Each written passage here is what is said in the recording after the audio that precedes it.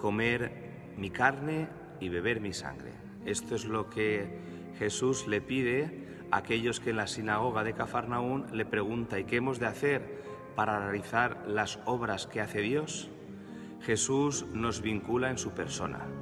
Jesús es fuente que alimenta, Jesús es fuente que sacia.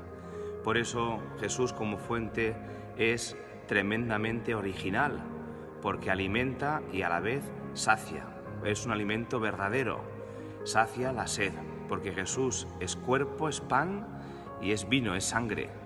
La Eucaristía es el misterio central de nuestra fe y a través de la Eucaristía Jesús como fuente sacia el corazón de los creyentes.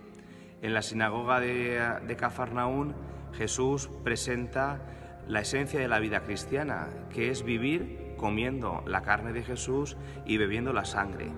La primera promesa que hace Jesús allí es precisamente habitar en Él. El que come mi carne y bebe mi sangre habita en mí y yo en Él. Habitar en Jesús no solo es seguir a Jesús de lejos, sino que es habitar en Él. A través de la Eucaristía, Jesús habita en nosotros, pero nosotros habitamos en Él, porque Él nos transforma, nos diviniza, nos cristifica, nos transforma en otros Cristos para el mundo. Habitar en él, es una de las constantes que aparece en el Evangelio de San Juan. Permanecer en mí, permanecer en el amor del Señor. Lo dirá también cuando habla de la vid, la vid y los sarmientos.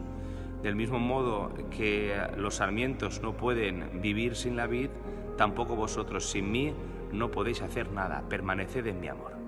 Con la Eucaristía Jesús nos promete habitar en Él y que Él habita en nosotros. En segundo lugar, Jesús nos promete que si comemos su carne y bebemos su sangre, desaparecerá el hambre y la sed. El que crea en mí, dice en el Evangelio de San Juan, no tendrá jamás hambre ni volverá a tener sed. Nuestra experiencia, como veíamos con la samaritana, es que una y otra vez tenemos que acudir a sacar agua para beber, necesitamos el alimento para comer.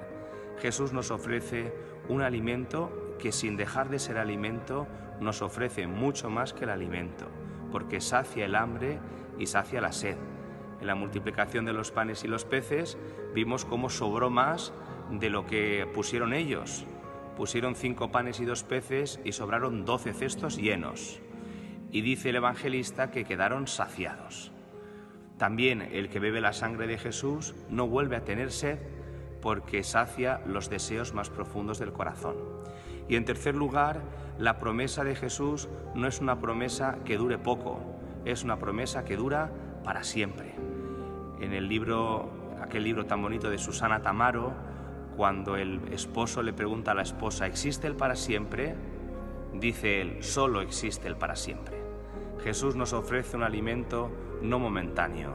Jesús nos ofrece una felicidad no momentánea, sino para siempre. El que coma mi pan, mi carne y beba mi sangre, tendrá vida eterna, no morirá nunca, vivirá para siempre. Que la Virgen María, ella que fue la mujer eucarística, porque se dejó inundar de la presencia de Dios y se dejó transformar por Él, nos conceda la gracia de ser almas eucarísticas. Un abrazo muy fuerte.